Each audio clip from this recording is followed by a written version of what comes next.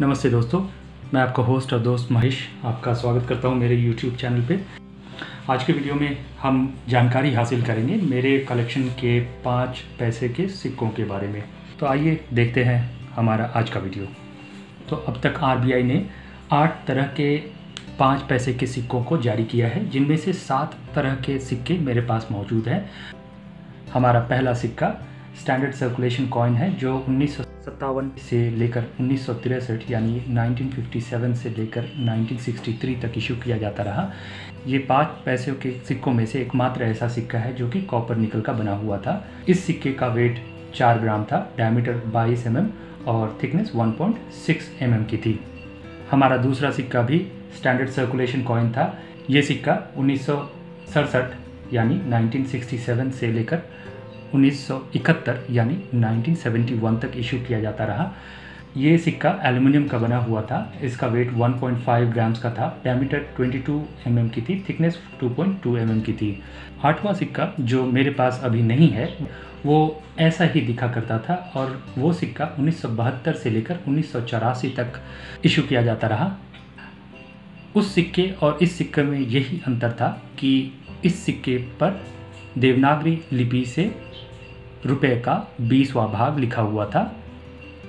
सिक्के के पिछले भाग में अशोक स्तंभ बना हुआ था, भारत और इंडिया लिखा हुआ था। पाँच पैसा का तीसरा सिक्का फ़ूड एंड एग्रीकल्चर ऑर्गेनाइजेशन को समर्पित था। इस सिक्के के ऊपर में food and work for all लिखा हुआ था। हालाँकि जो मेरे पास सिक्का है, वो काफ़ी हद तक घिस चुका है, इसलिए कुछ दिखाई नहीं दे इसलिए मैंने इसकी एक तस्वीर इस वीडियो पे दे रखी है। ये सिक्का उन्नीस सौ छिहत्तर यानी 1976 में इशू किया गया एल्युमिनियम का बना हुआ था। इसका वेट 1.5 ग्राम्स था डायमीटर 22 एम mm और थिकनेस 2.2 एम mm की थी। हमारा अगला सिक्का भी फ़ूड एंड एग्रीकल्चर ऑर्गेनाइजेशन को समर्पित था। ये सेफ़ फॉर डेवलपमेंट विकास के लिए बचाएँ के नाम से जाना गया। ये सिक्का 1977 में इशू किया गया था। एल्यूमिनियम का बना हुआ ये सिक्का वेट में 1.5 ग्राम्स का था डायमीटर 22 एम mm और थिकनेस 2.2 एम mm की थी। अगला सिक्का भी फ़ूड एंड एग्रीकल्चर ऑर्गेनाइजेशन को समर्पित था। ये सिक्का food and shelter for all के नाम से जाना गया। ये सिक्का 1978 1978 में इशू किया गया था। ये एल्युमिनियम का बना हुआ सिक्का 1.5 ग्राम्स का था 22.33 mm डायमीटर में और थिकनेस में 2.2 mm की थी।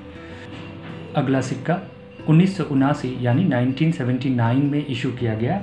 International year of the child को समर्पित था। ये सिक्का एल्युमिनियम का बना हुआ था वेट में 1.5 ग्राम्स और डायमीटर 22.32 mm की थी थिकनेस 2.2 mm की थी। पाँच पैसे के सिक्कों की श्रृंखला में आखिरी सिक्का उन्नीस सौ चौरासी से लेकर उन्नीस सौ चौरानवे, यानी 1984 से 1994 तक इशू किया जाता रहा और ये स्टैंडर्ड सर्कुलेशन कॉइन एल्युमिनियम का बना हुआ था। ये सिक्का वेट में एक ग्राम का था और डायमीटर 22 एम mm और थिकनेस 1.5 एम mm की थी। आशा करता हूँ आज का वीडियो आपको पसंद आया होगा। आपका समय देने के लिए धन्यवाद। आपका दिन शुभ हो।